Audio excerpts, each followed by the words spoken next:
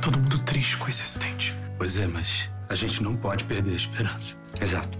Vai ficar tudo bem. Nesta segunda, após a Caverna Encantada, Explica pra gente, por favor, o que é que aconteceu pro senhor fazer essa maluquice? é difícil lidar com a dor. Eu Não vou conseguir ficar longe de você de novo. Eu tô aqui. Seu pai tá também. A gente vai ficar aqui com você. Últimos capítulos de A Infância de Romeu e Julieta.